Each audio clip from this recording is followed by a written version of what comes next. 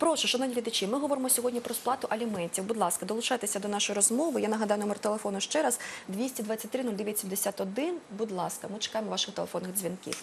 Ми повернемося до того питання. От е, як наша дзвонювачка зазначила про те, що е, і ми починали говорити, що якщо не буде можливості сплачувати аліменти, то суд також буде враховувати це. От давайте розглянемо цю ситуацію. Якщо чоловік, припустімо, дійсно не може сплачувати аліменти, яким чином тоді буде відбуватися процес і як можна це довести? Ну, ми краще всього показати це на конкретному прикладі. Уявімо собі ситуацію, що є позов до суду жінки, дружини до чоловіка, і чоловік е, в силу тих чи інших життєвих обставин дійсно не може сплачувати навіть мінімальну суму аліментів, незважаючи на те, що мінімальна сума аліментів і так надзвичайно мала. Там сьогодні це може варіюватися в розмірі 360 гривень, здається. Тобто це невелика сума, але бувають будь-які життєві ситуації. Ми не беремо, до прикладу, коли особа не хоче сплачувати аліменти, ми беремо приклад, коли особа не може сплачувати аліменти. Наприклад, вона є інвалідом, вона є недієздатною, у неї є е, надзвичайно велика кількість тих, тих об'єктів, на які вона має направляти ті кошти, які в неї є. Тобто вона має платити за ліки, вона має платити, наприклад, за певну реабілітацію щорічну, вона має сплачувати ще якісь обов'язкові кошти, там за комунальні і так далі.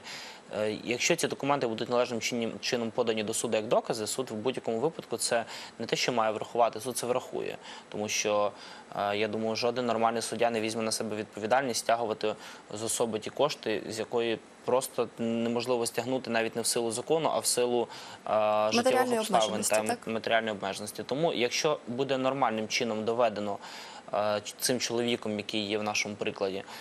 Стороною буде доведено те, що у нього немає законної змоги сплачувати аліменти, то звичайно такий обов'язок може бути він може бути позбавлений такого обов'язку на підставі рішення суду, тому що м, е, просто не буде нормально процесуально доведено ті чи інші моменти, на які він е, на які він е, полягається в суді. Так, дякую. Ми продовжимо ще цю тему. Після запитання Добрий день, слухаємо вас. Є дзвінок? Немає. Будь ласка, перетелефонуйте ще раз. 223 0971. Ми чекаємо ваших запитань, говоримо про сплату аліментів. Пане Євгене, а от якщо продовжувати цю тему, а чи може бути таке, що цей обов'язок сплати аліментів покладуть, наприклад, на іншу лінію, на другу лінію, чи можливо на родичів цього чоловіка чи жінки? Дуже часто постає таке питання і просять ага, не не тільки аліменти, а й борги покладати на когось е, з працездатних, дієздатних членів родини, але закон це виключає, тому що це обмеження прав іншої особи. Наприклад, якщо е, людина не в змозі сплачувати аліменти, суд не може, просто не долучивши цю особу до сторони судового процесу, не, вислухавши, чому потрібно долучити іншу сторону, зобов'язати будь-кого сплачувати будь-кому якісь кошти. Єдине, що використовується практика, коли е, визнається, наприклад, дружина.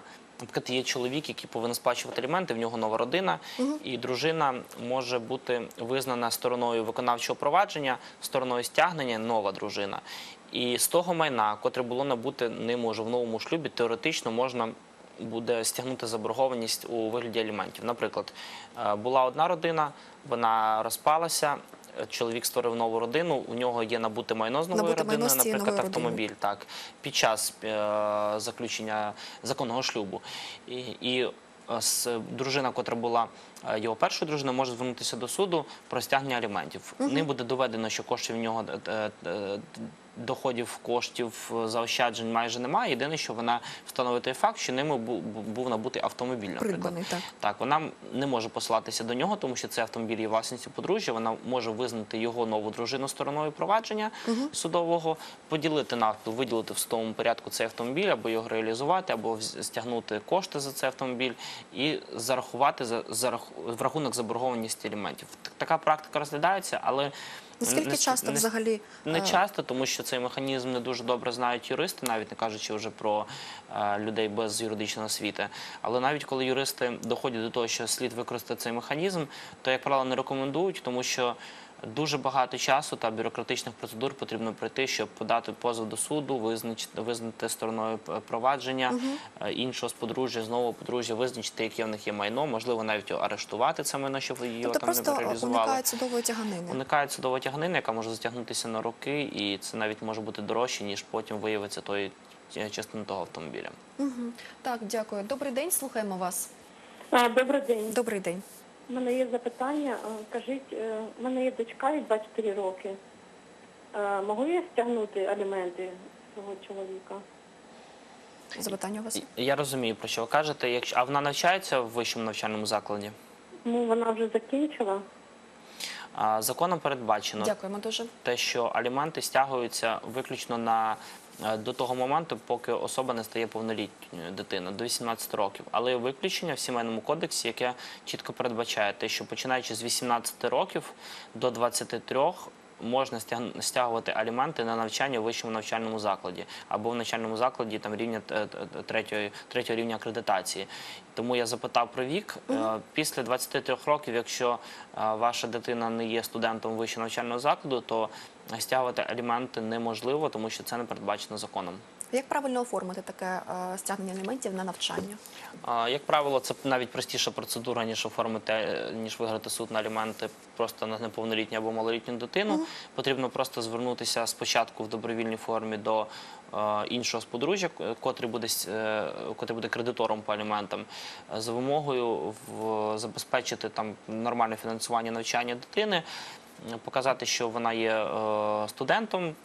Документи, котрі підтверджують, що особа є студентом, це студентський квиток або запрошення е, до вищого навчального закладу, довести, що вона є там студентом того чи іншого курсу, і звернутися до суду і обґрунтувати, наприклад, якщо ця особа, якщо дитина є е, навчається на контракті або навчається в іншому місті, дуже легко обґрунтувати те, що їй потрібно та чи інша сума коштів. І тут можна просити знову таки в твердій грошовій формі, тому що у вас буде конкретна сума коштів, яку ви Тобто тут на е, дитину. саме про конкретну суму коштів е, йдеться про загальну кількість, е, загальну суму Так, навчання? про загальну і забрати з неї половину, тому що вона ж все-таки залишається з кимось, чи з матір'ю, чи з батьком. Батько, звичайно, може оплатити там контракт тільки добровільно повністю. Якщо він не погоджується оплачувати добровільно, то виключно може претендувати на те, що він буде платити якусь визначену суму коштів. Як правило, е, дуже велику суму коштів потрібно дитині на навчання, Так. починаючи з 18 років. Але не так проблемно нам на практиці стягувати ці кошти, як проблемно стягувати якраз під час того, коли дитина є до 18 років, малолітня або неповнолітня. Тому що там від року до 18, по-перше, цей період набагато більший, і потреби значні, а тут все-таки може піти студенти на роботу і. І, і люди вже якось самостійно вирішувати так свої запитання. питання. Так, це правда. Ну там вже навіть дитина вже можна сказати більш-менш така е, особистість, яка може сама сказати дякую. Я самостійно зможу Так, це правда. І вирішити ці проблеми. як показує практика, діти, котрі стають старшими, там котрі вже навчаються в університеті, вони налагоджують, як правило, стосунки з батьками, навіть якщо у них не було жодних стосунків з тим з батьків, хто мав платити аліменти до того, як вона вступила до університету. Угу, так, дякую. Прошу 223-09-71. Ще раз хочу нагадати, говоримо сьогодні про сплату аліментів. Будь ласка, долучайтеся до нашої розмови. Пане Євгене, давайте ми з такої практики також. е, Я так розумію, що дуже багато сімейних ось таких от проблем вирішили вже ви впродовж вашої практики. Наскільки часто взагалі мирним шляхом вирішують питання аліментів зараз? Ми старалися підбити статистику, певну, коли мирним шляхом. На 30% складає е, зі 100, але цих 30% дуже часто є, можна виокремити там 10%. Це не коли е, чоловік та дружина сказали, окей, ми можемо заключити договір, і я буду там сплачувати ту суму. А коли часто просто матір або батько, котрий залишається з дитиною, вони є достатньо забезпечені, кажуть, нам простіше відмовитися, ніж е, чи- чим іти до суду і претендувати на якусь там невеличку суму коштів. Це е, купа нервів, це купа затраченого часу та затрачених коштів на адвокатів. Тому, як правило, відмовляються взагалі від аліментів, якщо є, якщо є така життєва змога. Якщо такої життєвої змоги немає, то також дуже часто е, люди е, укладають або усну, або письмову мирову угоду, і інший з подружжя, котрий не залишається з дитиною, добровільно сплачує кошти. Раніше така практика була практично виключена. Не знаю, я думаю, що це з розвитком нашого суспільства, зі змінами в країні, все-таки люди стають більш толерантними та нормальними по відношенню один до одного, тому що слід розуміти в будь-яких сімейних спорах, коли стає проблема і питання аліментів, Так. то це не проблема персонально чоловіка та жінки, це проблема дитини, котрій потрібно нормально рости. І тому, як правило, коли нормально доноситься до особи шляхом таких передач, шляхом власних там персональних консультацій, шляхом це допомога дитині пропаганди. Так, що це допомога дитині, це допомога е, твоїй рідній людині, яка є твоєю частиною. І тому, як правило, один з батьків е, достатньо толерантно, нормально відноситься. І я думаю, що з роками така статистика з 30%, дай Бог, ще переросла до 100%. Угу. Так, дякую. Добрий день, слухаємо вас. Добрый день. Добрий день. У меня вопрос такой. Есть ли у нас такой закон, который защищает ту маму, которую выращ- растя ребенка, не брала алиментов, но вместе с тем теряла здоровье свое? Ребенка вырастила, а сама осталась нездорова. Знаете, мамы все последние отдают своим детям.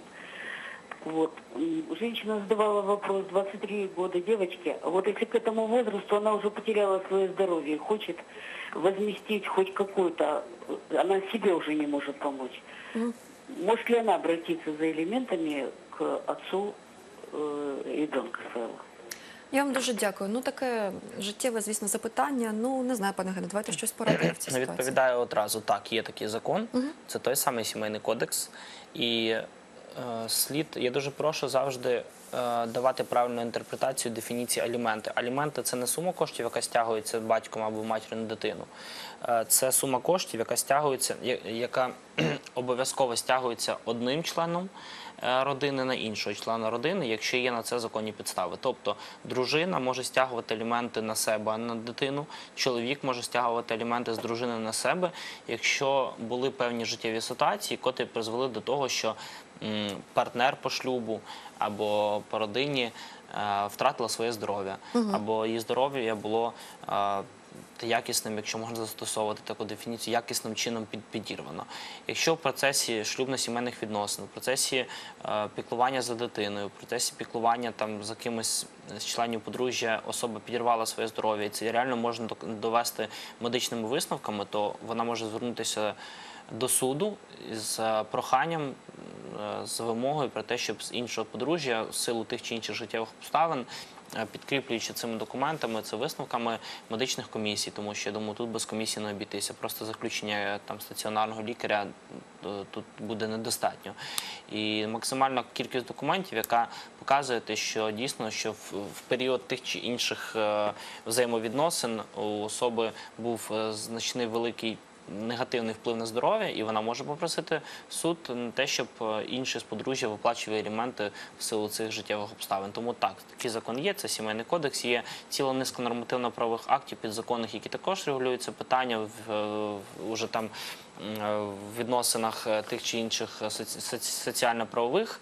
А наскільки часто суди задовольняють позитивні такі позови? Дуже рідко звертаються, чесно скажу, тому що а, важко підбити статистику задоволення. Задовольняють часто. Ну З тих, е, кількості, позов- позови про стягнення аліментів, незважаючи хто є стороною стягнення, хто є стягувачем і хто і хто є особою, до котрої стягується. Позови задовольняються, мабуть, в 90 там 9%, і то 1% – це виключно якісь процесуальні помилки сторони, котра подала документи, просто просить їх усунути, тому що це, це конституційне право особи на стягнення аліментів. Це таке ж саме конституційне право, як і право на житло, право на медичне забезпечення, на освіту, право на утримання. А, і тому я думаю, що статистика е, тут позитивна, але дуже дуже небагато таких справ, коли звертається дійсно один з подружжя на отримання до іншого, на те, щоб е, були забезпечені певні грошові суми на його Ну, е, от теоретично дуже цікаво було б розглянути, які документи дійсно могли б повпливати на рішення суду для того, щоб були позбавлені такі е, стягнені такі елементи. Після телефонного дзвінку поговоримо про це. Добрий день, слухаємо вас. Добрий день. Скажіть, будь ласка, як тягнуться аліменти із е, боржника? Якщо він ніде не працює і немає в нього майна, відділ юстиції сказали, ми не можемо нічого зробити в цьому випадку. Дитині вже 26 років, до 23 років навчалася вона. Ну, так. Я так розумію, що у вас вже є рішення суду, так і і виконавча служба вже займається. Так, Да, да, да, виконавчої служби, да, але ніхто нічого не може зробити. Ну, Так, дякуємо дякую дуже. вам.